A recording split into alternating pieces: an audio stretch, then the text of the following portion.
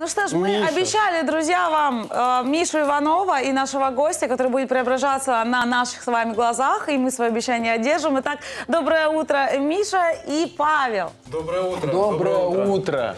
Да, Павел консультант по мужскому стилю, организатор бьюти-фестивалей в Красноярском крае. Сегодня у нас тема мужская. И, Паш, мы хотим узнать, э, что же нужно делать для того, чтобы утром выглядеть на все сто процентов? Как э, ухаживать за бородой, как ухаживать за волосами? Расскажи, пожалуйста. Вот вы большие молодцы, что вы сделали такой мужской эфир и мужчинам уделили время, хотя это так редко бывает. Миша, привет. Здравствуйте, здравствуйте. Миш, голос вообще у тебя утренний. Я готов. Собрался. Все, бодрячком. Итак, ну, как и многие мужчины, вот Михаил, он встал с утра с растрепанной головой. И, ребята, самое первое и главное – это помыть голову с утра. Почему? Потому что если ты моешь голову на ночь, то, когда ты спишь, от подушки вот появляется здесь след. Вся вот замятыши. Да, и мужчины как делают? Ту-ту, папа, либо об воду. да? Идеальный. Э, Поэтому совет номер один – мыть э, голову с утра. Э, Второй совет – это, конечно же, что? Расчесываться, Это конечно. расчесывать волосы. Это у вас какая-то специальная для с- сверхкрепких мужских волос? или Это просто расческа обычная, рабочая, но в быту мужчины используют любую э, расческу.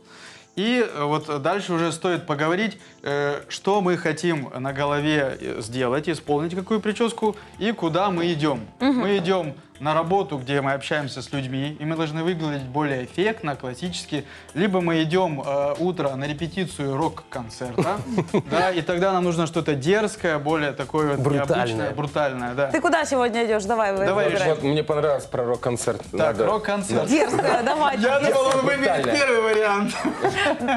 Ну, первый вариант, наверное, можно было бы оставить примерно так. Вы можете вот без э, стайлинга показать, ну, как бы это было, да, чтобы мы Ну, понимали. и при первом варианте, да, э, вы совершенно правы. Э, У Миши, у него вот от природы волосы лежат вот туда, вот в ту сторону. сторону, да.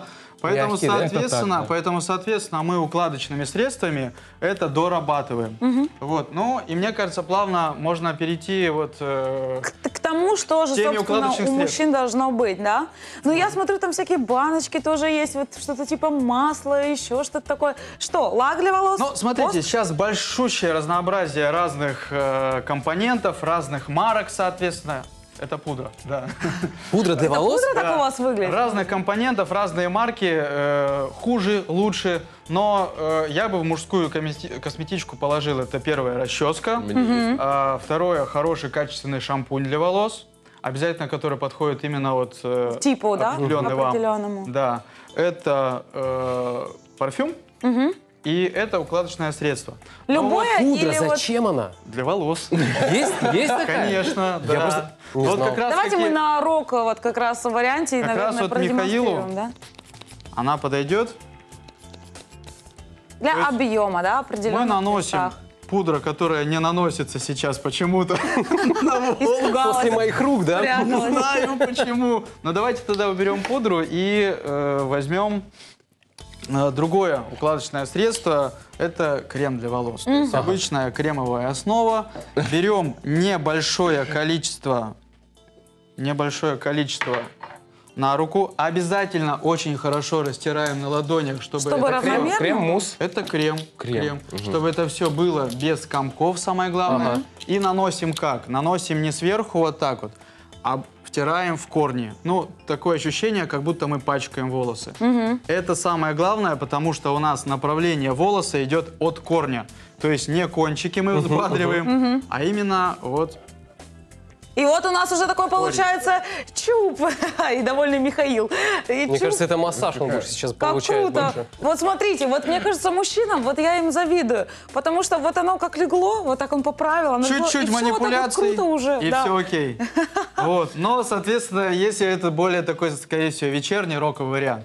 Если же мы пришли утром э, в Государственную Думу, допустим, то, соответственно, мы делаем все это более классическим. То есть э, Сейчас на прическа заучку может похож. легко трансформироваться в течение Готов. дня. Да, конечно, очень большой плюс современных укладочных средств именно в том, что э, ты в течение дня можешь менять форму. То есть э, с утра ты можешь быть Гарвардским парнем к солидным вечеру. Да, или солидным мужчиной. а к рок-н-ролльщиком к вечеру. вечеру. Вот. Так, а что вот касается растительности? Так, и у вас растительность- тоже, и у Миши, как вы за ней ухаживаете? А у меня было больше. Эх, сбрил. Вот с такими усищами вы бы видели. Но это не девушка тебя попросила сбрить, потому Нет, что... нет. Это, потому что тяжело, да, наверное, это, было за это ним было ухаживать? тяжеловато. Ну ничего, мы справились. Отрастим новую, еще лучше. Ну да, Михаил прав именно то, что ухаживать за бородой надо обязательно. И это действительно иногда труд, труднее сделать, нежели просто вот побриться обычным станком. Э, При выборе и уходу за бородой стоит обращать внимание на форму лица. Это Первое. Второе, э, где волос у вас растет на бороде, где нет, потому что бывает Как-то надо равномерно, да? Мужчины, парни, они приходят в барбершоп и говорят, я хочу вот такую форму бороды. А не растет у него в этом месте волосы, где нужно, а вот он хочет. Поэтому нужно обращать внимание на рост волос, где, э, в каких местах растут волосы, в каких нет. Вот. И третье, это э, бородой можно, соответственно, замаскировать какие-то изъяны на голове, э, на, Прыщики, например. да, на подбородке, на бо- м, вот Да, ну и этой вообще можно выгодно Шрамы, подчеркнуть э, прыщики. форму лица. Это же здорово, на самом деле. В мне этом на плане самом деле вам везет. очень, очень нравится борода именно тем, что, ну, на мой взгляд, Миша, это удобно наоборот. Ты помыл, расчесал, все в порядке.